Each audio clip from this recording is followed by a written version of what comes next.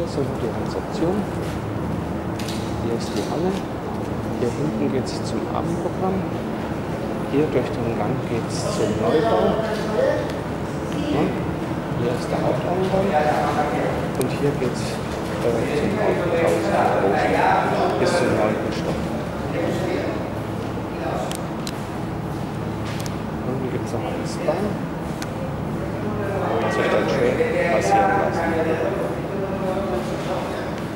Hier sind dann die ganzen Karten mit Rekorden. Hier auf der Seite ist Altos, ITS, Neckermann. Und hier drüben sitzt dann 1, 2 Flaggen. Die Außendienstlerin von 1, 2 Flaggen. Und Vorsicht hier, die verkaufen einem die Ausflüge, das sind in fünf Sprachen. Ich würde zur deutschen Reiseleitung gehen und würde fragen, ob die einsprachig sind, die Ausflüge. Das ist immer ganz wichtig.